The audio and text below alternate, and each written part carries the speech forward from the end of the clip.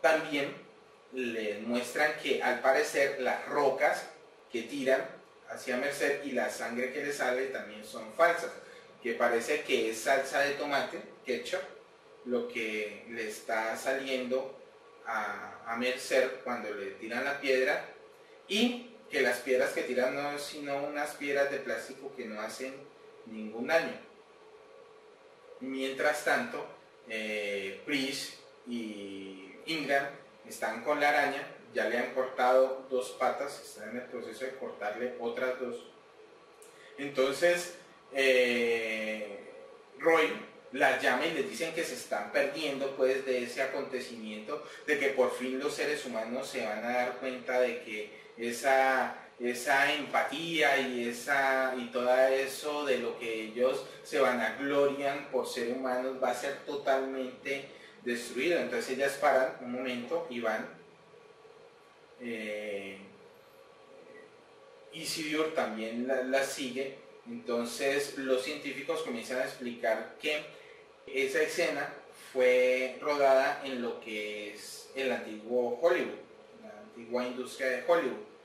Y que la persona que interpretaba a Mercer era un actor alcohólico y entonces van así cual a los reality, a la, casa del, del, actor y lo muestran y le preguntan que si él hizo ese trabajo, entonces él les dice que sí, que él hizo ese trabajo, que él nunca supo quién lo contrató para hacer ese trabajo, pero que sí, que él hizo ese trabajo y que, y que era verdad también que él era alcohólico y que siempre ha sido alcohólico. Y en ese momento Roy se levanta jubiloso y, dice que por fin eh, se ha demostrado pues que la humanidad no es más empática que, que los androides y que en realidad todo es una superchería y algo inducido.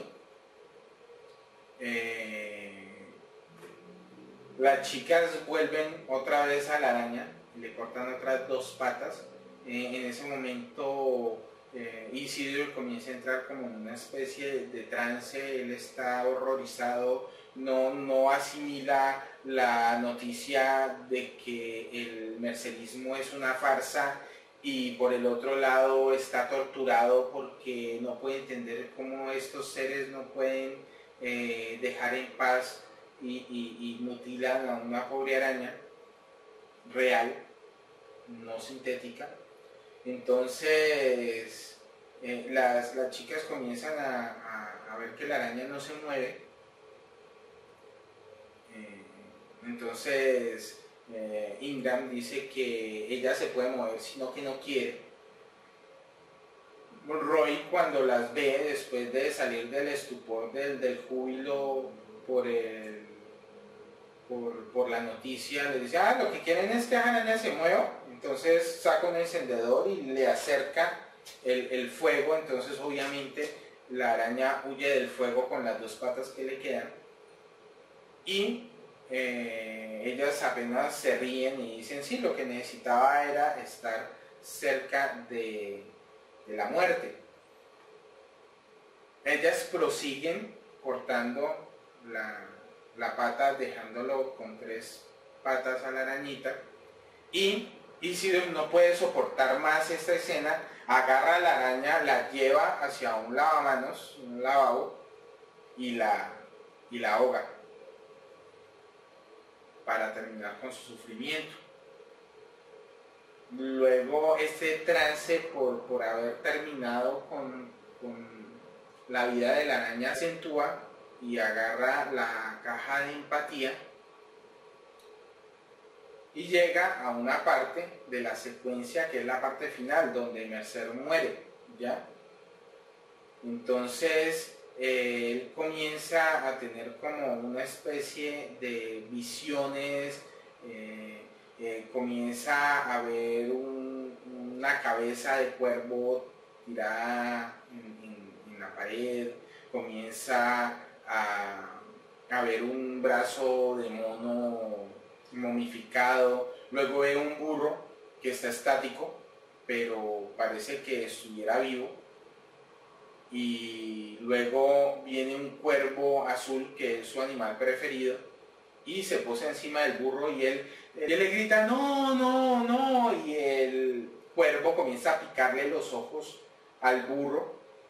Entonces, eh, estando en este, en este trance, aparece Mercer y Dios le comienza a hacer preguntas de que si realmente es una farsa y Mercer le dice sí, es una farsa. Sí, yo soy ese actor alcohólico.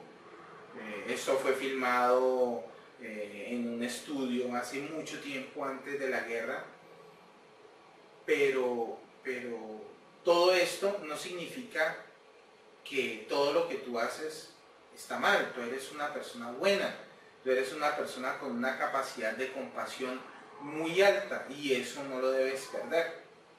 Entonces le, le entrega la araña en la mano, ya con las patitas restauradas, Isidro no lo puede creer, apenas la ve y no, lo puede creer, y sale corriendo hacia afuera del edificio con su araña en la mano.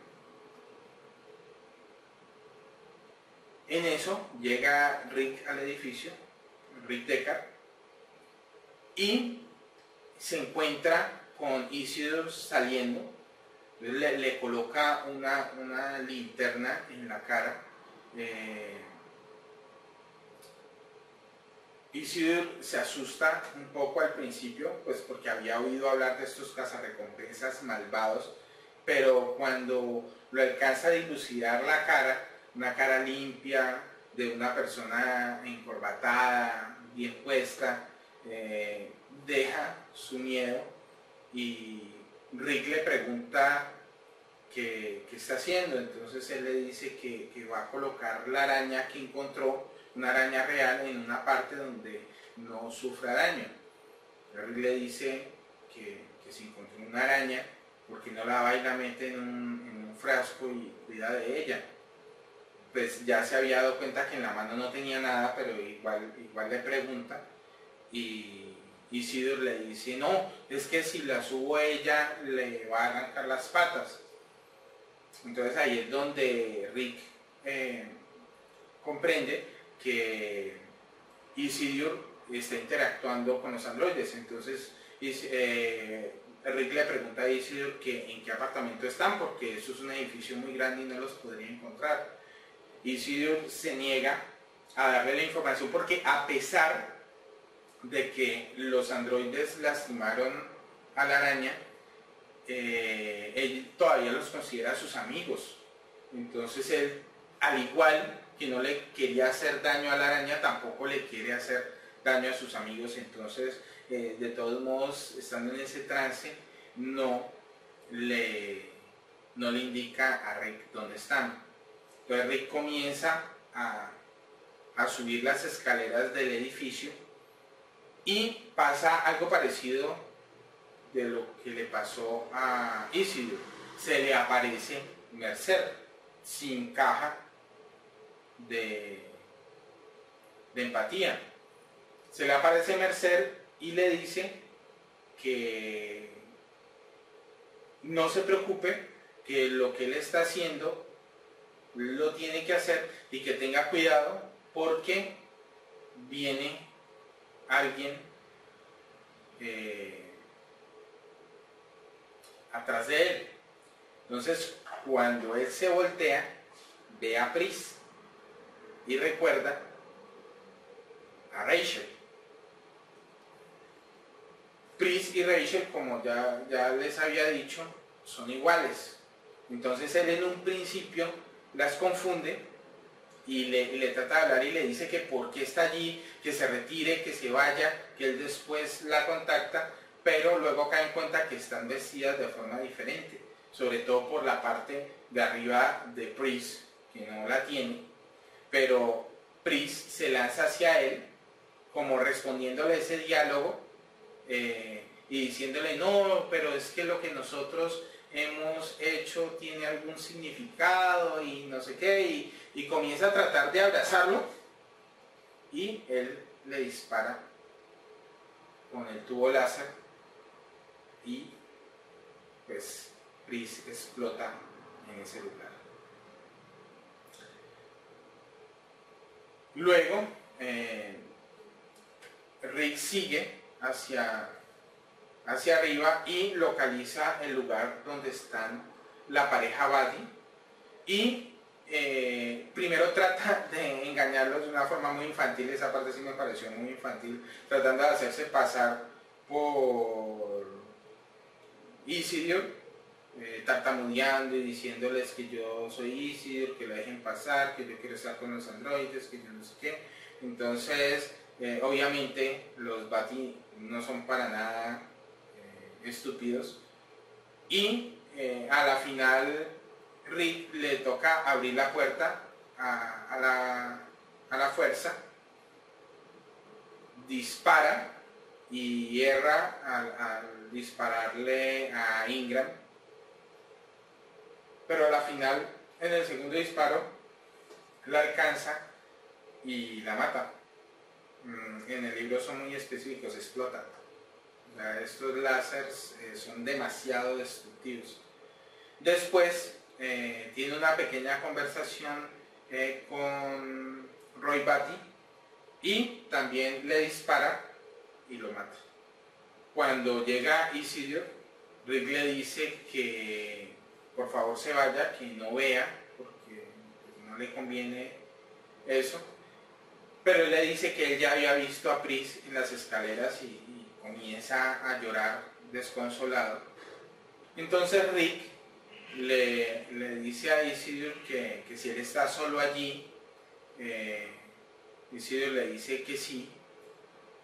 Rick le, le contesta que eh, le convendría irse a un lugar más poblado, donde, donde, haya más gente, inclusive le ofrece que se vaya al edificio donde él vive, que, hay espacio. Entonces Isidro le dice que él no se va a mudar con una persona como él, como un monstruo asesino, toda la cosa, y eh, se va. Bueno, aquí termina la parte de la casa de los androides y comienza una experiencia diferente. Rick, cuando termina, le informa a Henry Bryant que ya ha terminado y se va. Se va a su casa Resulta que cuando llega a la casa y encuentra a Irán, Irán le comenta que alguien ha matado la cabra.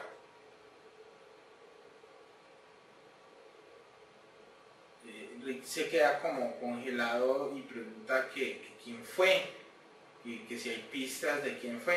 Dice sí, dice que es una mujer que venía con un abrigo, que tenía un top y unos shorts cortos que simplemente oyó la cabra, la empujó y la cabra cayó del edificio y murió. Eh, que llamaron pues al veterinario para poder ver si podían salvar al pobre animalito, pero que el animalito estaba muerto. Entonces Rick entra como en un shock porque le da rabia que Rachel le haya eh, matado la cabra en una señal de celos. Rachel le dice que él ama más a la cabra que a su esposa y que a ella. Y entonces Rick se va, se va ahí al desierto. Eh, en el desierto comienza a tener como ciertas alucinaciones eh, sale del auto, eh, comienza a convertirse como en Mercer y Mercer comienza a darle como revelaciones y todo eso, pero entonces él no las cree porque él ya no está convencido de quién es. Entonces llama por teléfono para hablar con el cazarrecompensas que había retirado los otros dos androides que en ese momento estaba hospitalizado y tampoco puede hablar con él, pero llega un momento, una epifanía, ¿ya? en la cual él ve un sapo real. Entonces él comienza a preguntarse, sale de ese estupor y comienza a preguntarse por qué ese sapo está allí.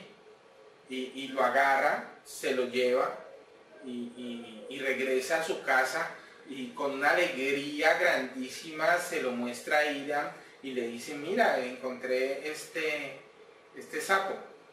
Entonces eh, Irán lo agarra, lo mira, al principio emocionada, pero después lo voltea y lo ve por debajo se da cuenta que el sapo es el Entonces, otra vez, eh, Rick cae como en una depresión. Eh, él dice que está bien, que, de todos modos era mejor saber tarde que temprano que el, que el sapo era eléctrico.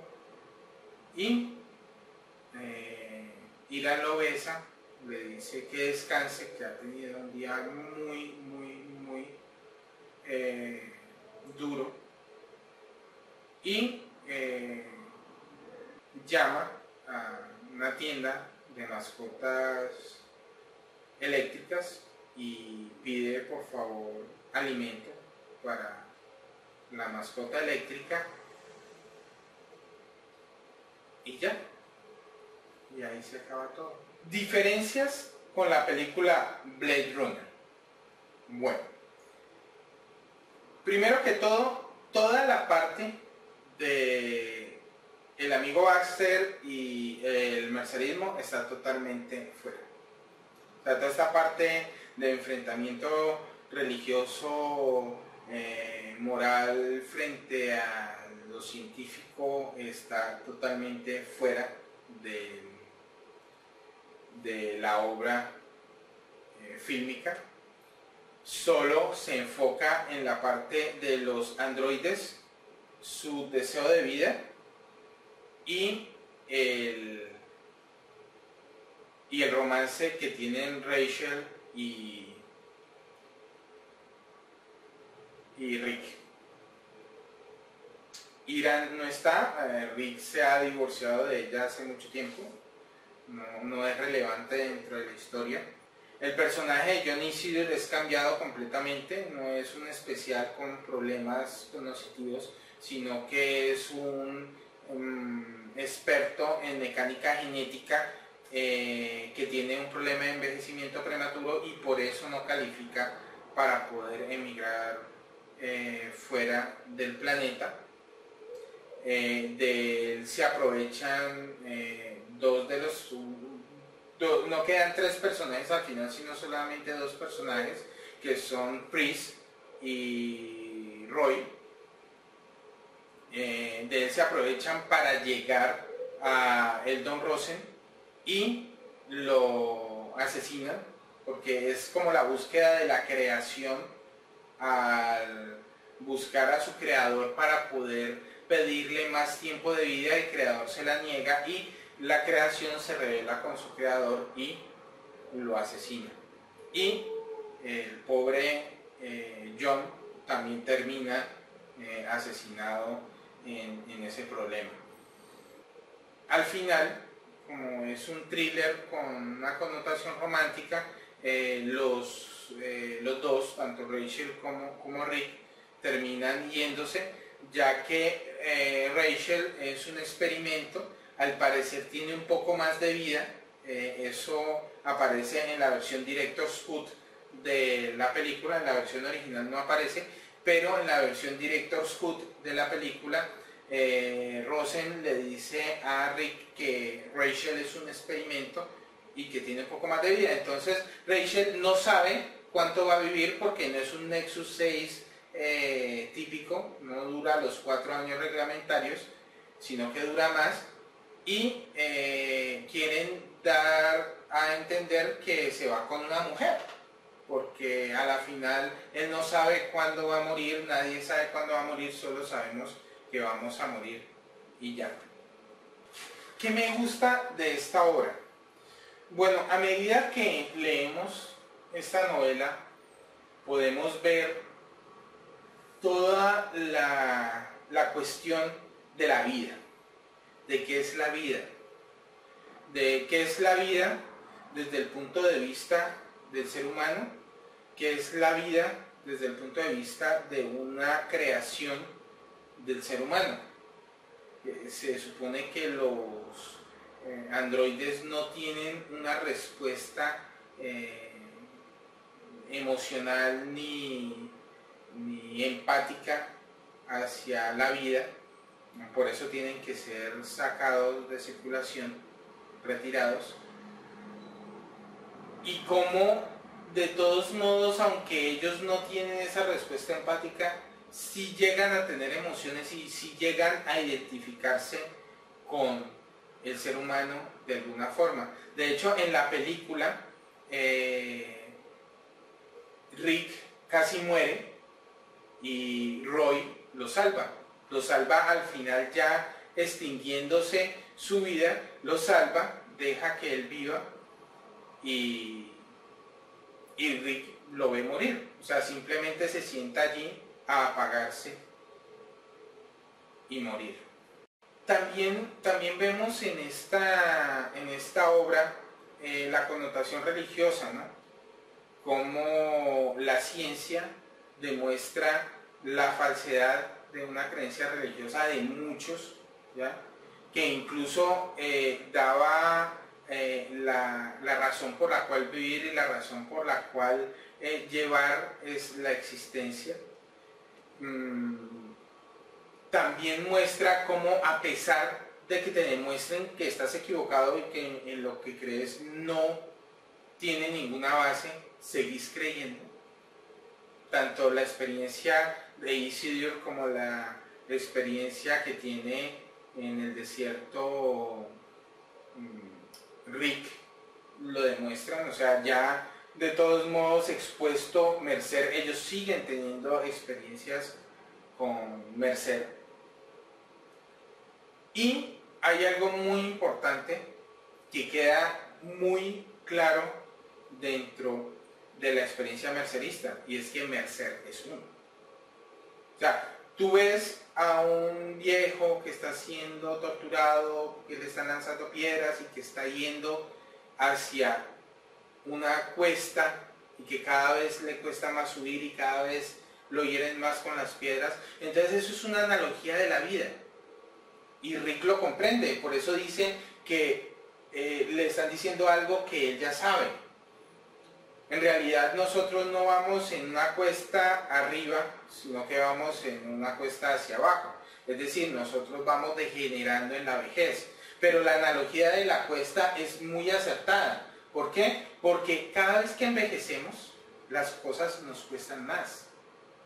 Y cada vez que nos hacen daño, el daño es peor. Entonces, eh, esa analogía de que cada vez nos cuesta más subir hasta que llegamos a la muerte y luego otra vez volvemos, es la vida expresada en una secuencia fílmica, en este caso la experiencia de Mercer. Entonces por eso Rick se ve decepcionado al comprender realmente de qué se trata Mercer. Mercer no le está ofreciendo nada más, sino aceptar la vida como es. Bueno, para terminar, eh, me gustaría aportarles que se lean primero el libro, antes que todo.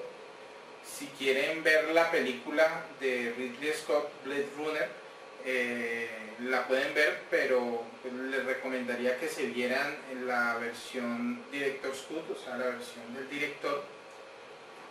Eh, hay un cómic ilustrado por Tony Parker, una novela ilustrada por Tony Parker, que es muy fiel al libro, también para los que no les gusta leer mucho letras, letras, sino ver imágenes. Eh, está esta novela gráfica, se la recomiendo. Yo ya la leí, es muy buena y es bastante fiel a la obra original de Philip Dick. Y eh, por último, les recomiendo un enlace de una audio obra, una audio novela, por decirlo así, que es una adaptación de Sueñan los robots con ovejas eléctricas junto con Blade Runner, es como una reconciliación de las, de los dos puntos de vista de esta situación en, en una sola obra que dura más o menos una horita de audio muy bien interpretada. Es como audioteatro, es muy, buen, muy bien interpretada. Eh, y aquí les, les dejo el, el link para que la puedan ver. Yo soy EFOC Desclasificado, un enfoque diferente de la tecnología informática. Hasta la próxima.